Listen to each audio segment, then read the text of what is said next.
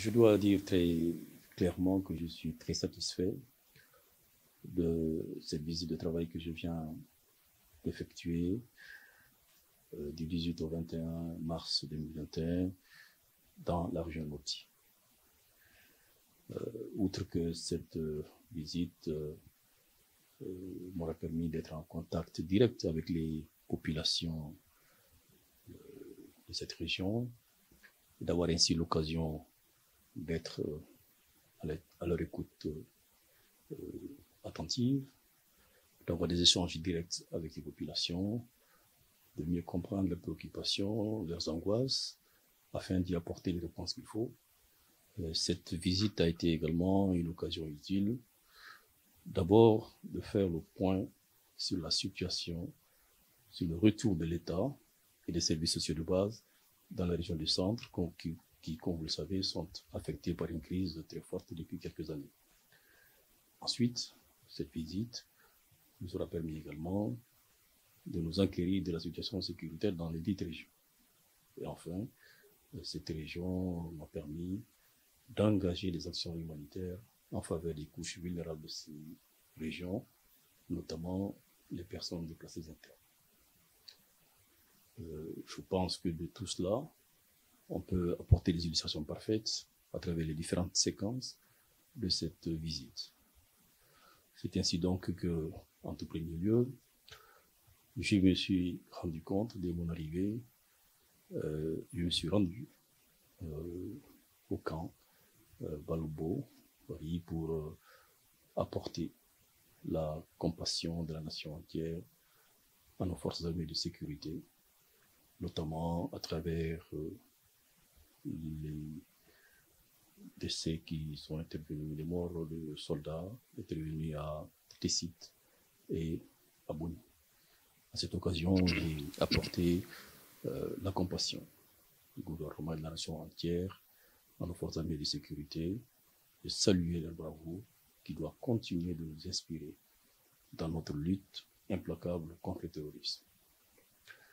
Ensuite, cette visite nous a permis également de procéder à quelques inaugurations. Et là, je pense à euh, l'installation d'équipements de mondialise à l'hôpital Sominé de l'eau et également l'inauguration du centre d'appareillage de Mopti.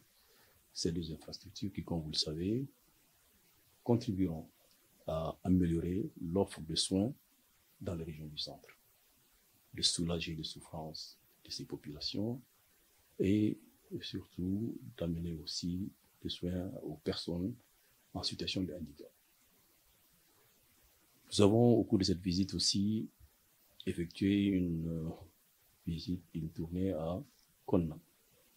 Ça a été euh, un temps fort de cette visite, puisque à cette occasion, nous avons euh, procédé à la visite de deux sites qui sont emblématiques de ce que nous recherchons à savoir améliorer et renforcer la sécurité et aussi contribuer à la relance économique.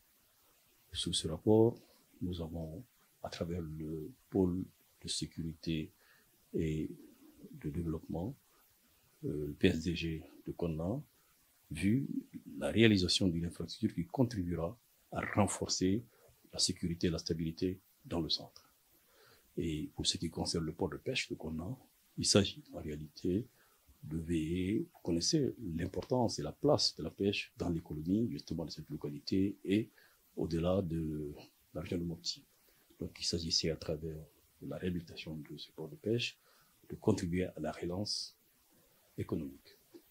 Et justement, cette euh, articulation intelligente entre la sécurité et le développement devrait concourir précisément à nous permettre de renforcer notre progression vers la paix et la sécurité. Pour ce qui concerne aussi euh, les infrastructures, vous savez, à Mopti, euh, nous avons lancé des travaux euh, d'aménagement du tronçon Mopti-Sévari. C'est une réalisation importante parce qu'elle concourt précisément à poursuivre la politique de désenclavement intérieur que poursuit le gouvernement vous connaissez l'importance de la route pour un pays. témoigne à la fois d'un intérêt économique, puisqu'il s'agira de faciliter les échanges commerciaux. Et vous connaissez l'importance du Moti comme hub de ce point de vue. La route a aussi une dimension sociale parce qu'elle va contribuer précisément à faciliter l'accès aux soins de santé des populations. Il y a une dimension sociale de la route parce qu'elle contribuera précisément à faire en sorte que les relations entre les populations soient activées. Donc de tout cela, euh, précisément, c'est important d'avoir procédé à cela. Et je dois ajouter que cette, euh, ces travaux qui ont été lancés à Moti constituent le début d'une dynamique qui va se poursuivre les mois prochains. Parce qu'il s'agira pour nous de faire en sorte précisément que ces, différents, ces différentes dimensions de la route que j'ai évoquées puissent servir dans d'autres localités du pays. Et enfin, je dois indiquer que nous avons aussi, euh, au cours de cette visite, tenu la réunion euh, du cadre politique de gestion de la crise au centre du pays. C'est un cadre particulièrement important, institué au niveau du Premier ministre, qui regroupe une dizaine de ministres. J'ai tenu à ce qu'il y ait cette réunion localiser à Mopti pour permettre précisément de donner du sens à cette structure-là. À travers les points que j'ai indiqués, d'abord faire le point de la situation sécuritaire, deuxièmement engager les actions qui conviennent par rapport à cela. Et cette réunion euh, qui a eu la participation des gouverneurs de Mopti et de Ségou nous a permis d'avoir un état actualisé de la situation sécuritaire dans les régions de Ségou et de Mopti. Euh, et donc, subséquemment, donc de savoir quelles sont les dispositions à prendre pour précisément contribuer à, renforcer la sécurité et la stabilité, ce que nous allons faire. Et enfin, il y a eu cette conférence des cadres euh, élargie aux forces vives de la, région de Mopti, euh, cours de laquelle nous avons eu l'occasion d'avoir un échange direct avec euh, les représentants des forces vives, de manière à nous, acquérir de préoccupations réelles des populations.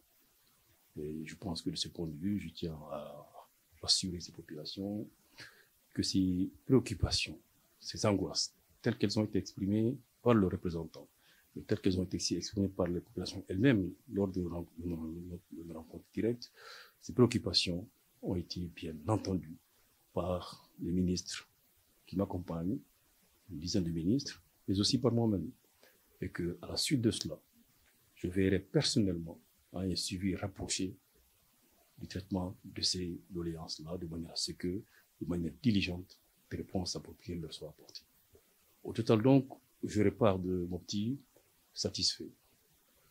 Parce que je me suis rendu compte que euh, notre peuple, notamment à travers la région de Mopi, regorge d'un potentiel extraordinaire.